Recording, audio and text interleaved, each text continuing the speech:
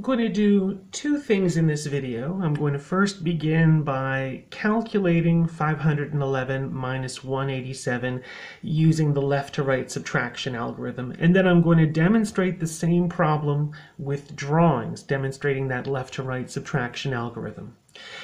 So to subtract 187 from 511 using left to right subtraction, I begin by stacking our numbers by place value, ones on top of ones, tens on top of tens, and so on.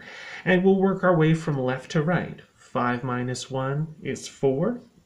And that when we can't subtract 1 minus 8, we can't do that, I'll borrow from the difference that we've just found. From the four hundreds that are left over, I'll take one of them, leaving three hundreds behind, and take that extra hundred and move it into the tens place, giving me 10 extra tens. I now have 11 tens in total, and I'd like to remove eight of those tens, and that would leave 3 tens behind. When I work my way into the ones place, I have one one and I'd like to remove seven ones.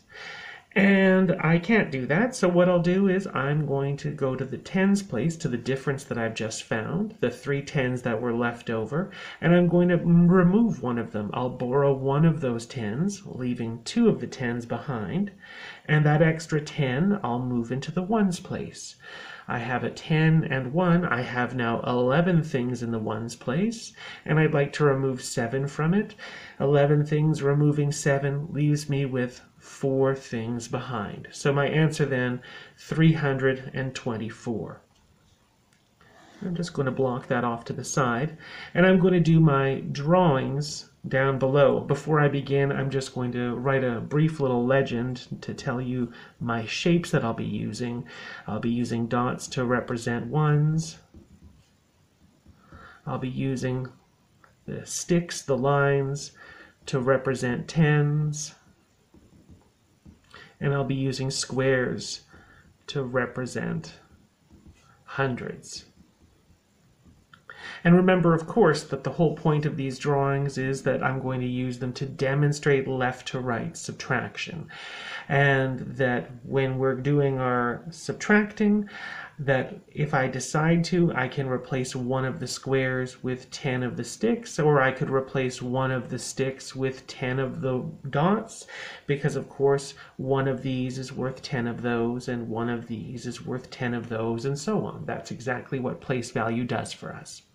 So I'll start with my initial problem, which is 5 hundreds, or 5 squares, and I have 110, and I have 1 1.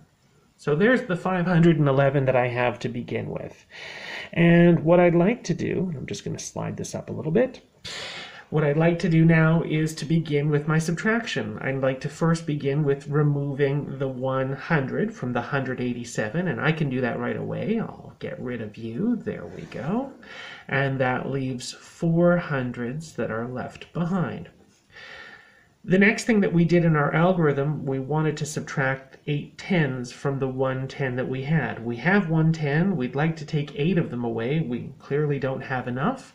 So this is where we borrowed. We borrowed from the 400s that were left over. We took one of those hundreds away and we've moved it into the tens place. That meant that we had three hundreds that were left behind, and in the tens place, we had the 110 that we originally had, and the square, the hundreds, is worth 10 tens. So we now have 10 more sticks. 1, 2, 3, 4, 5, 6, 7, 8, 9, 10. Of course, we still have the 1, 1 left behind. And the next thing that we needed to do was to remove 8 tens, or we were removing 8 of the sticks. 1, 2, 3, 4, 5, 6, 7, 8. So we'll take all 8 of you away. There we go. And what does that leave behind? It leaves behind I still have the 300s, and I now have three sticks or three tens left behind, and I've got one one. So we were at this part of the algorithm where we've borrowed from the 400s, leaving 300s behind, and we did our subtraction in the tens place, leaving three tens behind, and now we were moving to the ones place with the 1 1, and we wanted to remove seven of them. We had one dot, we'd like to remove seven of them. That's not so possible, so we'll need to to borrow. From the three tens that we had left over, I'm going to take one of them away and move it into the ones place. So I'll have still the three hundreds left over. I'll have now two tens remaining. That was our borrowing and reducing by one. And now when I've moved that 10 into the ones place, I'll have the original one that I had, and I have the 10 being moved into the ones place, giving me 10 more ones two, three, four, five, six, seven, eight, nine, ten. So we have 11 ones now in total.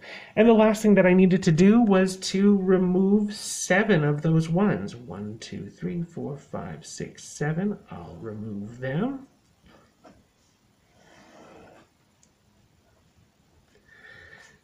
And that leaves me with four ones left behind. So we can see the steps that I carried out in the left to right subtraction algorithm. Subtracting in the hundreds place. When I couldn't subtract in the tens place, I needed to regroup, taking from my difference and moving to the tens place. Then I was able to subtract in the tens place. I wanted to subtract in the ones place, couldn't do that, so I regrouped from the tens place into the ones place. Then I could do the subtraction, and then I have my final answer. The amounts left over, three hundreds, two tens, and four ones, or 324, which of course that's the same as the answer that we got from the left to right subtraction algorithm.